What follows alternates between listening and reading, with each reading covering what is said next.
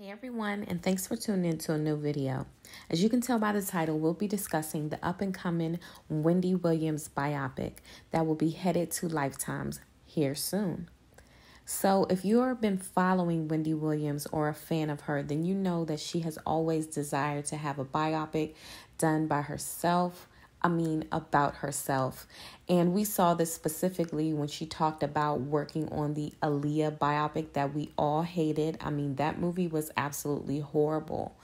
But she did mention during that time how she wanted to have her own movie done and she would do it when the time was right. She also mentioned that she would love to have actress Robin Givens play her. And at first, I could not see it. But I do believe if you could put a wig on and, you know, some breast enhancements, it could work. Well, we have more details on the project as it's gone into production, and we have the actress that Wendy has chosen to play her, and that is Ciera Payton.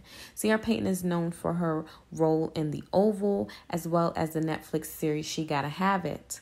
Now, playing the role of her husband, well, her now ex husband, is Morocco Omari, and he is most known for being on Empire as well as the new hit series on Starz P Valley.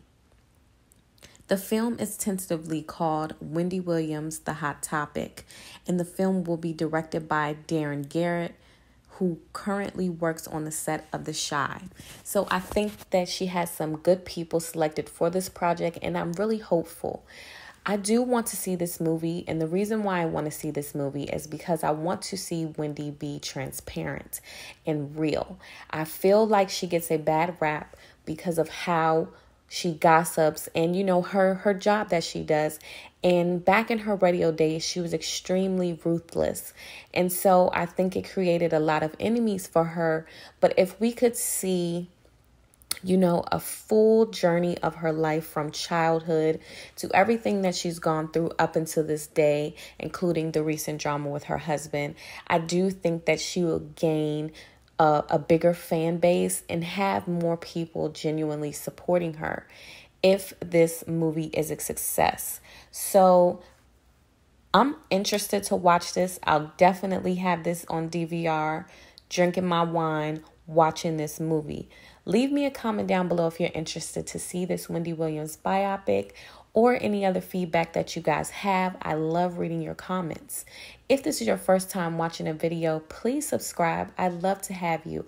Also, be sure to follow us on Instagram at jsimone media so that you can stay connected with everything we have going on here.